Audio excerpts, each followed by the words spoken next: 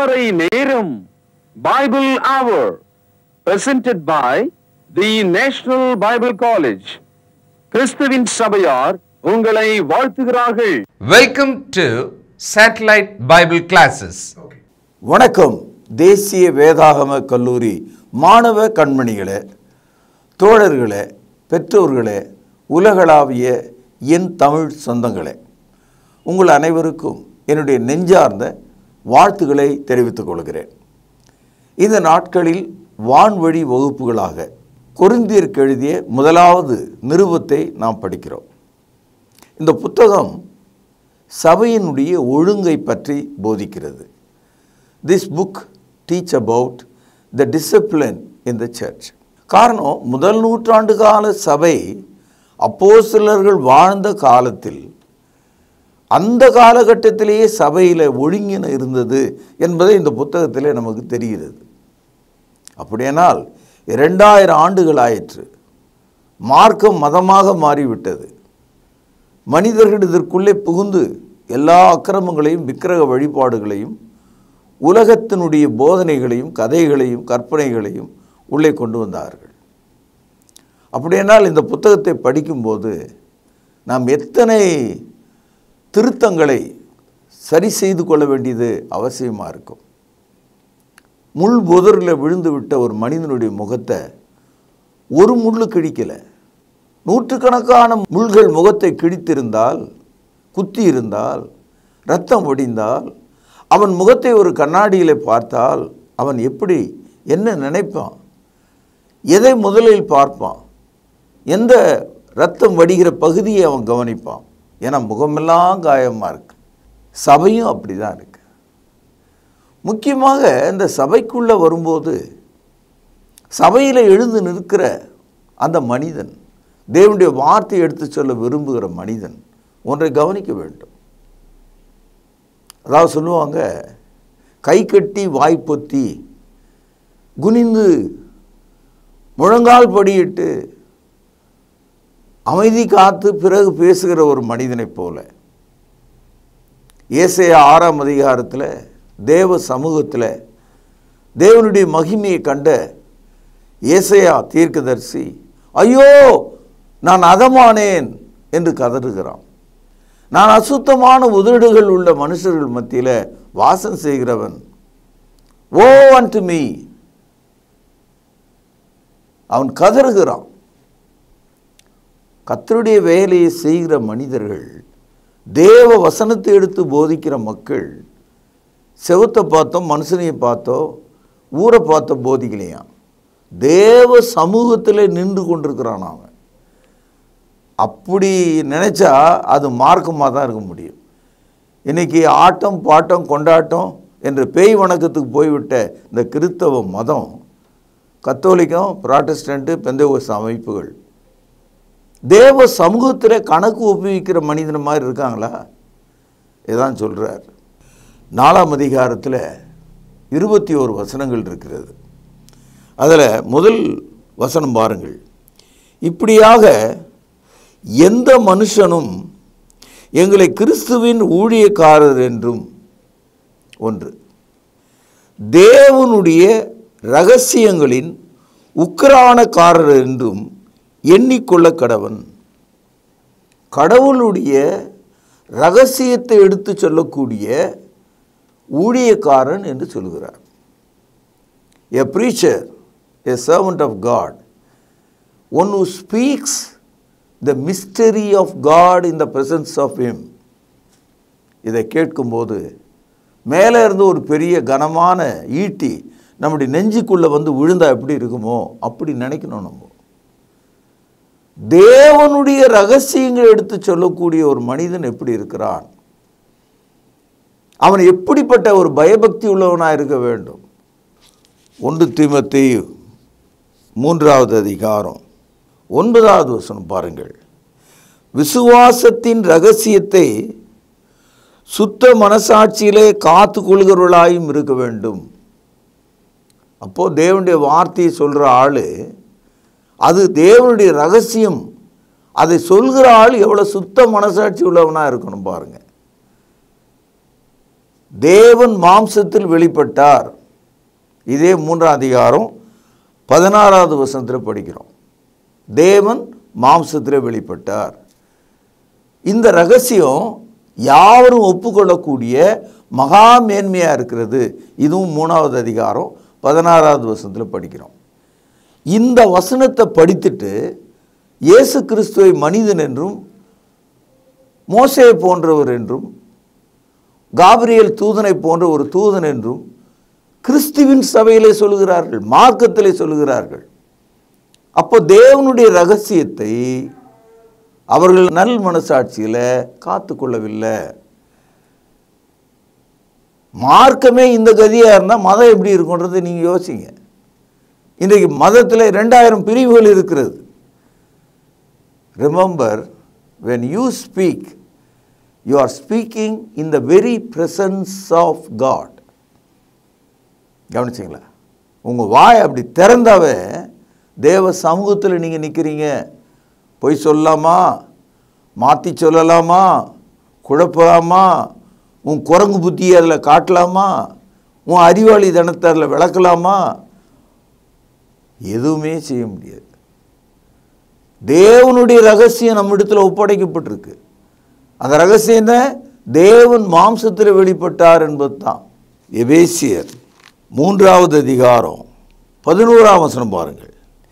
இயேசு கிறிஸ்துவை கொண்டு எல்லாவற்றையும் சிருஷ்டித்த தேவனுக்குள்ளே கவனியங்கள் ஆதி காலங்கள் முதல் மறைந்திருந்த ரகசியத்தினுடைய ஐக்கியம் இன்னதென்று கவனிச்சிங்களா? எல்லாருக்கும் வெளிப்படையாக காண்பிப்பதற்கு இந்த கிருபை எனக்கு அளிக்கப்பட்டிருக்கிறது. பழைய ஏற்பாடு நம்ம சொல்கிறோமே அதான் ஆதி காலம். அந்த காலம்லாம் பழைய ஏற்பாட்டு காலம் ஆதி காலமாக இருக்குது இயேசுக்கு பிறகு அந்த ரகசியம் நமக்கு இப்போ தெரிஞ்சிடுச்சு. தேவன் மாம்சத்தில் வெளிப்பட்டு எல்லா மனுஷனையும் ரட்சிப்பதற்காக சிலுவையில் அவர் மறித்தார் என்ற அந்த ரகசியம்தான் எல்லாருக்கும் எடுத்து காண்பிக்க வேண்டிய ஒரு செய்தியாக இருக்கான் ஒன்று குருந்தியர் நாலாவது அதிகாரம் இரண்டாம் வசனம் பாருங்கள். மேலும் உக்ரானக்காரன் உண்மை உள்ளவன் என்று காணப்படுவது அவசியமாம். இந்த உக்ரானக்காரன் என்ற அந்த சொல் ஆங்கிலத்தில் ஸ்டுவர்டுன்னு வந்திருக்கு. மேனேஜர்ன்ற வார்த்தைக்கும் ஸ்டுவர்டு என்ற வார்த்தைக்கும் ரொம்ப வேறுபாடு இருக்குது மேனேஜர்ன்றவர் மேனேஜ் பண்ணுறவர் எல்லாத்தையும் வச்சு வழி நடத்துகிறவர் எடுத்து கொடுப்பார் எடுத்து வைப்பார். உக்ரானக்காரர் மேனேஜர் செய்கிற வேலையும் செய்வார். அந்த வேலையில் உண்மை உள்ளவராக ஒழுங்குள்ளவராக உயிர் கொடுக்கிறவராக இருப்பார். ஒரு தாய் ஒரு குழந்தை எடுத்து காப்பாற்றுவது பால் கொடுப்பது அதை நல்வழிப்படுத்துவது உரிமை இருக்கிறது அந்த தாய்க்கு அந்த குழந்தை மேலே. ஏன்னா அவங்க தான் அதை பெற்றாங்க அந்த உரிமை இருக்கிறதுனால ஒரு மேனேஜர் மாதிரி ஒரு மிஷன் மாதிரி அந்த குழந்தைய அந்த அம்மா கையாளாது. ஏன்னா அந்த குழந்தைக்கும் அந்த தாய்க்கும் இடையில் உயிர் பந்தம் இருக்கிறது. ஸ்டுவர்ட் என்ற ஆள் யாருன்னா அவனிடத்தில் ஒப்பு கொடுக்கப்பட்ட அந்த பொருளுக்கு அந்த ரகசியத்துக்கு உயிரை கொடுக்கக்கூடியவனாக இருக்கிறான். அதனால தான் இந்த இடத்துல வேலைக்காரன் சர்வெண்ட் என்ற ஒரு வார்த்தையை போடாமல் உக்ரானக்காரன் என்று சொல் வந்திருக்கு. So a Christian preacher is a steward is not just a manager வந்து போகிறவங்கெல்லாம் மேனேஜர் வேலை பார்க்கலாம். ஆனால் ஸ்டுவர்டாக இருக்கணும்னா தேவ சமூகத்தில் நிற்கிற மனிதர்களாக அவர்கள் இருக்கிறார்கள். அப்போது சபையில் உள்ள ஒவ்வொரு ஊழியக்காரன் அப்படி நின்னான்னா இந்த சபை வந்து மதமாக இருக்காது. மார்க்கமாக தான் இருக்கும். இன்றைக்கி பாருங்கள் தடி எடுத்தவனெல்லாம் தண்டல்காரனானான்.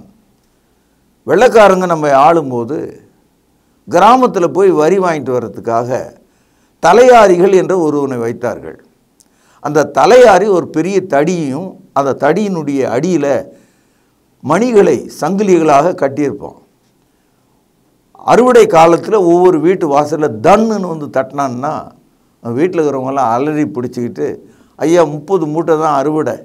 அதில் இது அரசாங்கத்துக்கு சேர வேண்டியதுன்னு ரெண்டு மூட்டையை தூக்கி வச்சுருவாங்க. அவன் அதில் பாதி சாப்பிட்டு மீதி எடுத்துகிட்டு போய் ஜில்லாவில் கலெக்டர்கிட்ட கொண்டு போய் கொடுப்பான்.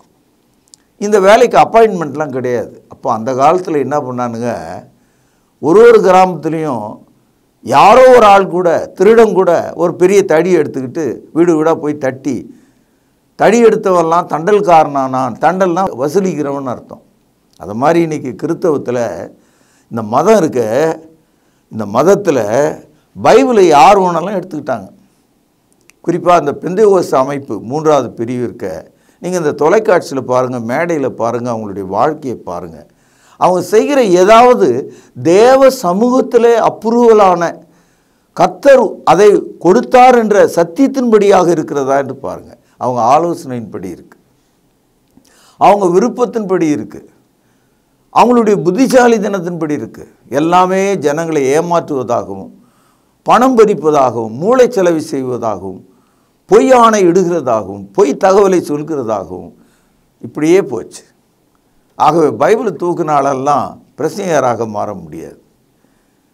வான அளவுக்கு ஒரு மனுஷன் உயரலாம். பெரிய பெரிய ஆள்லாம் உண்டு. நட்சத்திர போதகர்கள் நாசமாக போவானுங்க. ஏன்னா அவங்க தேவ சமூகத்தில் நிற்கலை அதெல்லாம் பேசிகிட்டு இருக்க நமக்கு நேரம் இல்லை. ஒன்று குருதிய நான்கு ஆறு. அந்த உக்ரானக்காரன் எப்படி மனதை வைத்திருக்கிறான்? How did the steward have his mind அவனுடைய மனது எப்படி இருக்குன்னு பாருங்க. கர்த்தர் சொன்னவைகளை மட்டும் சொல்லக்கூடியவனாக இருக்கான் அவன். அதுக்கு வேறு அர்த்தம் எதுவும் அவன் சொல்கிறது கிடையாது.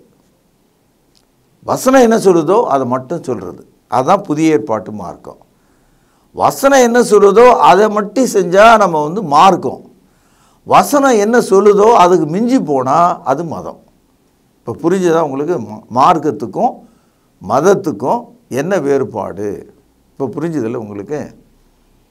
பாருங்கள் நாலாவது அதிகாரம் ஆறாவது வசனம்.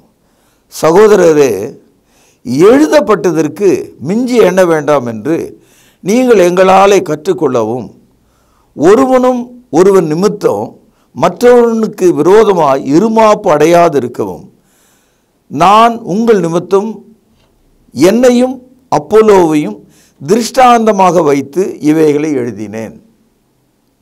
அந்த முதல் நூற்றாண்டு காலத்தில் புகழ்பெற்ற ரெண்டு போதகர்கள் ஒருவர் அப்போஸ்தலனாகிய பவுல் இன்னொருவர் அப்போலோ என்பவர்.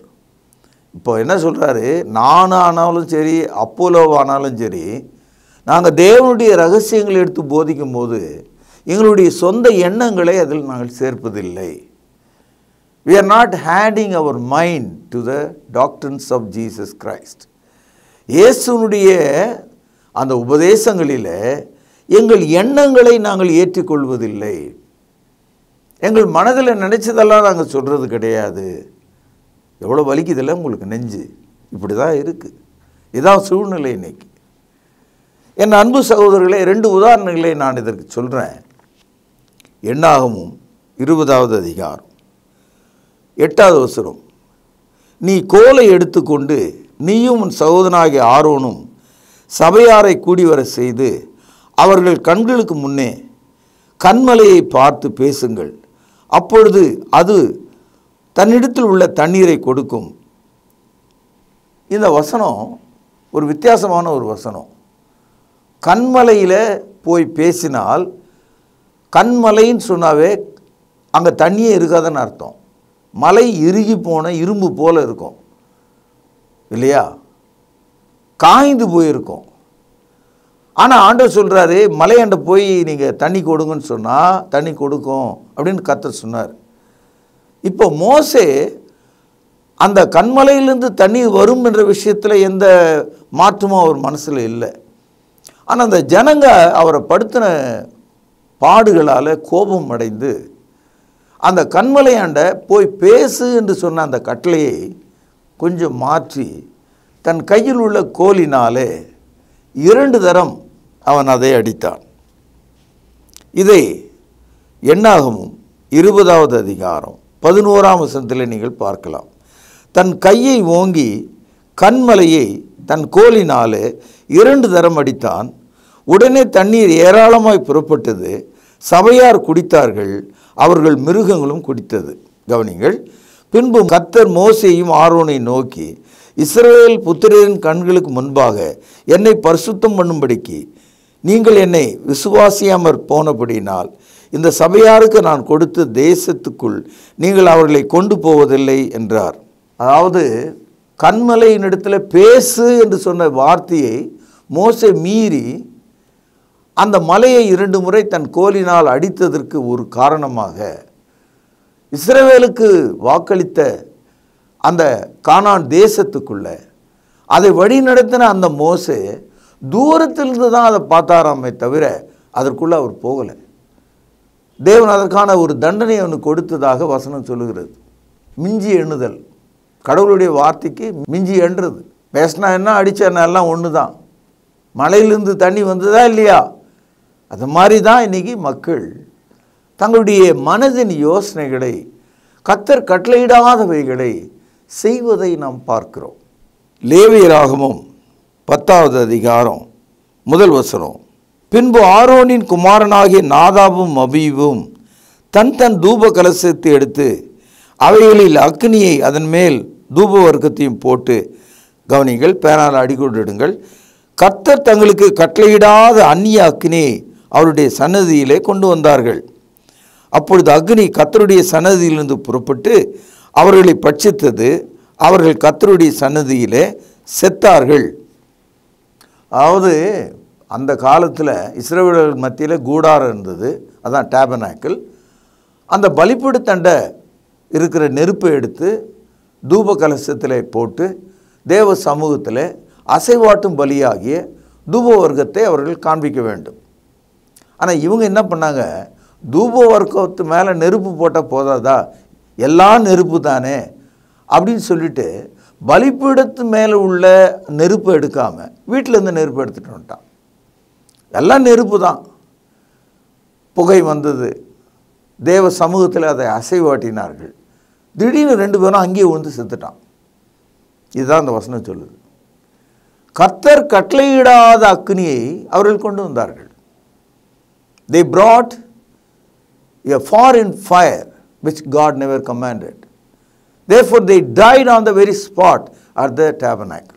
இதான் நடந்தது அப்போ தேவனுடைய வசனத்துக்கு மிஞ்சி மிதமிஞ்சி எண்ணி எண்ணுகிறதுனா என்ன அர்த்தம் அதுக்கு நீங்களா ஒரு அர்த்தத்தை சொல்வது மிஞ்சி போகிறது இன்றைக்கும் இந்த கிறிஸ்தவ மார்க்கத்தில் இந்த பெந்தகோச அமைப்பில் இருக்கவங்க வருஷந்தோறும் சொல்கிற தீர்க்க தரிசனங்கள்லாம் யூடியூப்லேயும் ஃபேஸ்புக்லேயும் சிரிப்பாக சிரிக்கிறாங்க எல்லாரும். அவ்வளோ கேவலம். கடந்த மூணு வருஷத்தில் அவங்க சொன்ன தீர்க்க தரிசனம்லாம் வரிசையாக போட்டு காட்டுறோம். கள்ள தீர்க்கதரிசிகள் என்று நான் சொல்லல அவங்களே பட்டம் இவங்களுக்கு கொடுத்துட்டாங்க. பாருங்கள் அப்போசலுடைய காலத்தில் கத்தர் சொல்லாத வார்த்தையை சில பேர் சொல்லிகிட்டே இருந்திருக்கலாம். அவர்களை வேத வசனம் என்ன சொல்லுதுன்னு பாருங்க. ரெண்டு தீமத்தையும் இரண்டாம் அதிகாரம் பதினெட்டாவது வசனம். அவர்கள் சத்தியத்தை விட்டு விலகி கவனிங்கள் உயிர்த்தெழுதல் நடந்தாயிற்று என்று சொல்லி சிலருடைய விசுவாசத்தை கவிழ்த்து போடுகிறார்கள். யார் இவர்கள்? ரெண்டு திமுத்தி இரண்டாவது அதிகாரம் பதினேழாம் வசனம். அவர்களுடைய வார்த்தை அரிப்பிளவை போல படரும் இமலேயும் பிழையத்தும் அப்படிப்பட்டவர்கள். எப்படி ஒரு கேன்சர் நோய் அப்படியே சீக்கிரமாக பரவி ஒரு முழு மனிதனை அழித்து விடுகிறதோ அரிப்பிளவு அப்படின்னா கேன்சர்னு அர்த்தம். அப்படி இந்த ரெண்டு பேரும் என்ன சொல்லியிருக்கான்? சபையில் உயிர்த்தெழுதல் நடந்து விட்டது இயேசு வந்து விட்டார். இன்றைக்கும் பாருங்கள் நம்ம ஆளுங்க இதை தான் சொல்லிகிட்டு இருக்கான். ஆகவே அவர்கள் எழுதப்படாதவைகளை தேவன் வெளிப்படுத்தாதவைகளை சத்தியத்துக்கு விரோதமாக அவர்கள் பேசுகிறார்கள். இதை தான் ஒன்று குருந்தியர் நான்கு ஆறில் பார்க்கிறோம். சகோதரரே எழுதப்பட்டதற்கு மிஞ்சி கீழே அடிக்கொண்டிடுங்கள் எண்ண வேண்டாம்? இதான் மார்க்கத்துக்கும் மதத்துக்கும் உள்ள வேறுபாடு. புதிய ஏற்பாடு என்ன சொல்லுதோ அப்படியே நம்ம செய்யணும். விசுவாசம் உள்ளவனாகி ஞானசானம் பெற்றவன் ரட்சிக்கப்படுவான். மார்க் பதினாறு பதினாறு. அது எப்படி? விசுவாசம் வந்தால் ரட்சிக்கப்பட முடியுமா? ஞானசானம் பெற்றால் ரட்சிக்கப்பட முடியுமா? அதெல்லாம் என்ன கேட்காதீங்க. கத்த சொன்னார் நான் அதை உங்களுக்கு சொல்கிறேன் பேதுரை பார்த்து ஏறக்குறைய ஒரு மூவாயிரம் பேர் கேட்டாங்க. அப்போஸ் நடபடியில் ரெண்டாவது அதிகாரம் முப்பத்தேழாவது வசனத்தில். ஒரு மூவாயிரம் மக்கள் கேட்டாங்க சகோதரர்களே நாங்கள் ரட்சிக்கப்பட என்ன செய்யணும்னு கேட்டாங்க. அதுக்கு முப்பத்தெட்டாவது வருஷத்தில் பேதர் ஒரு பதில் சொல்கிறார் நீங்கள் மனம் திரும்பி ஒவ்வொருவரும் கத்ராகி இயேசு கிறிஸ்தனுடைய நாமத்தில் ஞானஸ்தானம் பெற்றுக்கொள்ளுங்கள் அப்பொழுது பரிசுத்தாவின் வரத்தையும் பெறுவீர்கள். அதை கேட்டவர்கள் ஞானஸ்தானம் பெற்றார்கள் என்று அப்போஸ் நடவடிக்கையில் ரெண்டு நாற்பத்தி ஒன்றிலே நாம் படிக்கிறோம். அப்படி ஞானஸ்தானம் பெற்றவர்களை ரட்சிக்கப்பட்டவர்கள் என்றும் தேவன் அவர்களை சபையிலே சேர்த்து கொண்டார் என்றும் அப்போஸ் நடவடிக்கையில் ரெண்டாவது அதிகாரம் நாற்பத்தி ஏழாவது வசனத்தில் படிக்கிறோம். அதனால் தேவனுடைய வசனத்தை அவருடைய சமூகத்தில் நின்று பேசுகிறவர்களாக நாம் பேசணும். ரெண்டாவது தேவனுடைய வசனத்துக்கு சொந்த அர்த்தங்களோ நம்முடைய சொந்த புத்தியின் மேலே அதற்கு ஒரு அபிப்பிராயங்களையோ ஆலோசனைகளையோ சொல்லக்கூடாது. இப்போது ஒரு பூட்டை திறக்கணும்னு ஒரு சாவியை கொடுத்தாங்க.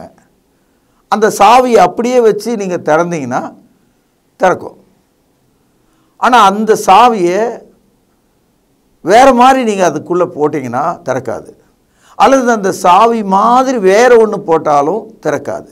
அல்லது அந்த சாவியில் ஏதாவது ஒரு பகுதியை நசுக்கி விட்டால் கோணலாக்கி விட்டால் அது திறக்காது. அது மாதிரி தேவனுடைய வசனத்தை கொஞ்சம் குறைய மாற்றுறது அதை நசுக்கிறது. அதை தொலைச்சிட்டு டூப்ளிகேட் எடுத்தாந்து போடுறது. வேலை செய்யாது விசுவாசம் என்பது தேவனுடைய வார்த்தையினால் வருகிறது. ரோமர் பத்தாவது அதிகாரம் பதினேழாவது வசனம். Faith comes by hearing of God's word அப்போ தேவனுடைய வசனத்தை மாற்றுவதற்கு நமக்கு எந்த அதிகாரம் இல்லை. நான் ஏன் இதை வலிந்து சொல்கிறேன் என்றால் நாம் கவனிக்க வேண்டிய ஒரு விஷயமா இருக்கு. எதை நம்ம செய்யக்கூடாதுன்னு சொன்னாரோ தேவன் அதை நம்ம செய்கிறோம் அதனால தான் பிரச்சனை. அதனால்தான் கிறிஸ்தவம் மதமாக விழுந்து கிடக்கிறது. மனிதர்களை பார்த்து இயேசு தெளிவாக சொன்னார். நான் சொன்ன வார்த்தையின்படி செய்கிற ஆள் கண்மலையின் மேலே வீட்டை கட்டினவன். நான் சொன்ன வார்த்தையின்படி செய்யாதவன் மணல் மேலே வீட்டை கட்டினவன். இப்போ முடிவு வருகிறது. பெருவெள்ளம் வந்தது. அந்த வீட்டின் மேலே மோதியது. ஒரு வீடு நின்றது ஒரு வீடு அழிந்தது. கண்மலையிலே கட்டினவன் புத்தி உள்ளவன் மணல் மேலே கட்டினவன் புத்தி இல்லாதவன். புத்தி இல்லாதவன் கிறிஸ்துவனுடைய வார்த்தின்படி நடக்காதவன். புத்தி உள்ளவன் கிறிஸ்துவனுடைய வார்த்தின்படி நடந்தவன். இது மத்திய ஏழாம் அதிகாரம் இருபத்தி நான்கிலிருந்து இருபத்தி ஆறு வசனங்களை நாம் படிக்கிறோம். அதனால் எழுதப்பட்டவைகளுக்கு மிஞ்சி நீங்கள் எண்ணக்கூடாது. இப்போ புரிஞ்சுதா உங்களுக்கு? இதுதான் வெளிப்படுத்தலை கூட நம்ம படிக்கிறோம். இருபத்தி ரெண்டாவது அதிகாரம் பதினெட்டு பத்தொன்பது வசனங்களில் நீங்கள் தேவனுடைய வசனத்தோடு ஒன்றை கூட்டவும் வேண்டாம் குறைக்கவும் வேண்டாம். கூட்டினாலும் குறைச்சாலும் உங்களுக்கு நியாய தீர்ப்பு நரக தண்டனை உண்டு. இப்படி தான் புதிய ஏற்பாடு இருபத்தி ரெண்டாம் அதிகாரம் பதினெட்டு பத்தொன்பது வசனத்தில் தெளிவாக நாம் படிக்கிறோம். அப்போ சிலர்கள் உட்காந்து சாப்பிட்டுட்டு ஊழியம் செய்கிறவங்க கிடையாது. ஜனங்கக்கிட்ட போய் நீங்கள் எல்லாரும் உங்கள் வருமானத்தில் பத்தில் ஒரு பாகத்தை என்கிட்ட கொடுத்துருங்க. நாங்கள் உட்காந்து கோபுரங்களை கட்டி கொண்டு ஒரு சிறிய அரசர்களைப் போல வாழ்கிறோம் என்று அவர்கள் இல்லை. உங்களுக்கு தெரியும் கொருந்திய சபைக்கு ஆரம்பத்தில் பவுலடியார் போன போது அங்கே ஆக்கிலா பிரிஸ்கிலா என்ற கூடான செய்கிற தொழிலாளர்கள் இருந்தாங்க. இது அப்போஸ் நடவடிக்கைகள் பதினெட்டில் படித்தோம் அப்பொழுது பவுல் அந்த கூடானம் செய்கிற வேலை அவனுக்கு தெரிந்திருந்ததுனால அவங்களோடு சேர்ந்து வேலை செய்தான் என்று நாம் படித்தோம். அப்போ அப்போஸ்தலர்கள் எப்படி சாப்பிட்டாங்க? அப்போஸ்தலர் எப்படி வாழ்ந்தாங்கன்னா அவங்களும் வேலை செய்து தான் வாழ்ந்திருக்காங்க. அதனால தான் கிறிஸ்டின் சபையில் எல்லாரும் வேலை செய்து கத்தரை மகிமைப்படுத்துகிறாங்க தங்கள் காணிக்கைகளால் தேவனை மகிமைப்படுத்துகிறாங்க அவர்கள் போய் பிச்சை எடுப்பது கிடையாது. கிறிஸ்தவ மார்க்கம் எப்போ பிச்சை எடுக்க ஆரம்பித்ததோ அப்போ அது மதமாக மாறிச்சுன்னு அர்த்தம். நீங்கள் பாருங்கள் இந்த தொலைக்காட்சியில் பேசுகிற ஆள் அத்தனை பேரும் எத்தனை பேங்க் அக்கௌண்ட்டு எத்தனை விளம்பரங்களை அவங்க செய்கிறாங்க பெரிய பெரிய நட்சத்திர போதகர்கள் இப்படியெல்லாம் ஃபார்ம்ஸ் போட்டு அப்ளிகேஷன் ஃபார்ம் மாதிரி விண்ணப்ப படிவங்கள் மாதிரி போட்டு இப்படியெல்லாம் பணத்தை சுரண்டுறாங்க. திருமணத்துக்கு முன்னாலிருந்து சாகிற வரைக்கும் அதை அவர்கள் பார்ட்னர்ஸ் மாதிரி கூட்டாளிகள் மாதிரி அவர்கள் பதிவு செய்து கொண்டு வருமானத்தை சுரண்டுவதை நாம் பார்க்கிறோம். சகோதரில் அப்போஸ்தலர்களை நீங்கள் பாருங்கள் ஒன்று குருதிய நாலாம் அதிகாரம் பதினொன்று பனிரெண்டு பதிமூன்று வசனங்கள். இந்நேரம் வரைக்கும் பசி உள்ளவர்களும் அப்போஸ்தலர் சொல்கிறாங்க பசி உள்ளவர்களும் தாகம் உள்ளவர்களும் நிர்வாணிகளும் குற்றுண்டவர்களும் குற்றுண்டவர்கள்லாம் எல்லாம் என் தலையில் கொட்டுறான்றார். தங்க இடமில்லாதவர்களுமாய் இருக்கிறோம் எங்கள் கைகளினால் வேலை செய்து பாடுபடுகிறோம். வையப்பட்டு ஆசிர்வதிக்கப்படுகிறோம். துன்பப்பட்டு சகிக்கிறோம். அடுத்து கவனிங்க பதிமூன்றாவது வசனம். தூஷிக்கப்பட்டு வேண்டிக் கொள்கிறோம் இந்நாள் வரைக்கும் உலகத்தின் குப்பையைப் போலவும் எல்லாரும் துடைத்து போடுகிற அழுக்கைப் போலவும் உள்ளோம். அப்போஸ்தலர்கள் தங்களுடைய சொந்த நிலைமையை இப்படி சொல்கிறாங்க எல்லாரும் கால் துடைச்சிட்டு போகிற ஒரு டோர் மேட் மாதிரி ஒரு கந்தை துணி போல் நாங்கள் இருக்கிறோம். அழுக்காக இருக்கிறோம். பசியாக இருக்கிறோம். துன்பப்படுகிறோம். குட்டப்படுகிறோம் தூஷிக்கப்படுகிறோம். எங்கள் ஆகாரத்தை கஷ்டப்பட்டு உழைத்து கொள்கிறோம். இதெல்லாம் சொல்கிறதுனால தேவன் அவர்களை கைவிட்டார்னு அர்த்தம் இல்லை. அவர்களுக்கு உரிய அந்த காலத்தில் அவர்களுக்கு கொடுக்கப்பட்ட பத்து விரல்களை கொண்டு அவர்கள் உழைத்திருக்கிறார்கள். ஆனால் இன்றைக்கு கிறிஸ்தவம் எப்போ மதமாக மாறுகிறதோ அதில் ஒரு கூட்ட மக்கள் தங்களை மேலே உட்காந்துக்கிட்டு நீங்கள்லாம் எனக்கு செய்யுங்க. ஆ நாங்கள் ஊரெல்லாம் ஜபகோபுரங்களையும் தோட்டங்களையும் மலைகளையும் வாங்கி போட்டுக்கொண்டு பெரும் பணக்காரர்களாக நாங்கள் மாறுகிறோம். இதை நீங்கள் கவனிக்கணும். நீங்கள் யூடியூப்பில் போயிட்டு இந்தியாவில் உள்ள மத போதர்கள் எவ்வளோ வருமானம் உடையவர்களாக இருக்கிறார்கள் அப்படின்னு நீங்கள் ஒரு கேள்வியை கேட்டிங்கன்னா இந்து சமயத்தில் எத்தனை சாமியார் இருக்கிறான்? கிறிஸ்தவ மார்க்கத்தில் எத்தனை போதர்கள் இருக்கான்னு லிஸ்ட்டே கொடுக்குறான். எவ்வளோ பெரிய பணக்காரர்கள் என்று போடுறான். இவர்களுக்கும் மற்றவர்களுக்கும் என்ன வேறுபாடு? இதையெல்லாம் நான் சொல்வதனால எனக்கு கூட மன கஷ்டமாக தான் இருக்குது அதை நான் சொல்லக்கூடாதுன்னு கூட நான் விரும்புகிறேன் ஆனால் இந்த பகுதியை எடுத்து நான் காண்பிக்கிறதுனால ஒரு அப்ளிகேஷன் இதற்கான ஒரு விடையாக நான் இது உங்களுக்கு சொல்கிறேன் ஆக அப்போஸ்தலர்கள் எப்படி இருந்தார்கள் என்பதை நீங்கள் பார்க்க வேண்டும். சும்மா குதிச்சா போதாது. வசனத்தை எடுத்து காண்பிக்கணும். பாருங்கள் ஒன்று குருந்தியர் நாலாவது அதிகாரம் இருபதாவது வசனம். தேவனுடைய ராஜ்யம் பேச்சில் அல்ல பலத்திலே உண்டாயிருக்கிறது. வெறும் வாயில் பேசி பிரயோஜனம் இல்லை வாழ்ந்து காட்டணும். அதான் கிறிஸ்தவம். அன்பு மாணவ கண்மணிகளே தோழர்களே இந்த நாளில் ஒன்று குறிந்த நாலாம் அதிகாரத்தில் படித்த இரண்டு முக்கிய செய்திகள். ஒன்று தேவனுடைய வசனம் பேசும்போது அது தேவனுடைய ரகசியம். அந்த ரகசியத்தை தேவ சமூகத்தில் பேசுகிறவர்களைப் போல பேசுகிறோம் you must have a fear of God you speak in the very presence of God ரெண்டாவது எழுதப்பட்டவைகளுக்கு மிஞ்சி நாம் எண்ணக்கூடாது. You should not think beyond what it is written மிஞ்சி எண்ணணும்னா நாதாப் அபியூப் எப்படி தேவ சமூகத்தில் அக்னியில் இறந்து போனார்களோ அப்படி தான் நம்ம இறந்து போவோம். எப்படி மாபெரும் ஊழியக்காரனாக மோசே கானானுக்குள் போகாமல் வழியிலே இறந்துட்டார். காரணம் என்னென்னா தேவனுடைய வார்த்தையை படி அவர் செய்யாமல் அந்த மலையை தன் கையில் உள்ள கோலினாலே இரண்டு முறை அடித்ததனால் அந்த மிஞ்சி போன ஒரு காரணத்தினால அவன் அதை நஷ்டமடைந்தான். இதையெல்லாம் மனதில் வைத்துக்கொண்டு நாளைய பாடத்துக்கு நீங்கள் ஆயத்தமாக வேண்டும் என்று கேட்டு இங்கே நிறைவு செய்கிறேன். பிரார்த்தனை செய்வோம். மகா பரிசுத்த நிறைந்த அன்பான தகப்பனே பயமூட்டும் தேவனுடைய வார்த்தைகள் எச்சரிப்பை எங்களுக்கு கொடுக்கிறது. நாங்கள் தேவ சமூகத்தில் ஒரு உக்ரானக்காரனைப் போல தேவ ரகசியங்களை பேசுகிற மக்களாகவும் எழுதப்பட்டவைகளுக்கு மிஞ்சி எண்ணாதிருக்கவும் எங்களுக்கு உதவி செய்தரலும் கேட்ட வசனங்களை எல்லாம் மனதில் இருத்தி ஜாக்கிரதை உள்ள வாழ்க்கை வாழும்படி எங்களுக்கு பேர் உதவி செய்தரலும் ஆண்டவரும் கர்த்தரும் ரட்சிகருமா இருக்கிற இயேசுவின் நாமத்தில் ஜபத்தை கேட்டரலும் ஜீவனுள்ள எங்கள் நல்ல பிதாவே ஆமேன். தொடர்பு கொள்ள வேண்டிய முகவரி திருமறை நேரம் ஐம்பத்தி எட்டு சர்ச் தெரு குமரன் நகர் சென்னை ஆறு லட்சத்தி எண்பத்தி இரண்டு. செல்போன் ஒன்பது மூன்று எட்டு ஐந்து ஐந்து பூஜ்ஜியம் பூஜ்ஜியம் டு எட்டு இரண்டு. கத்தாவே தேவர்களில் உமக்கு பானவர் யார்?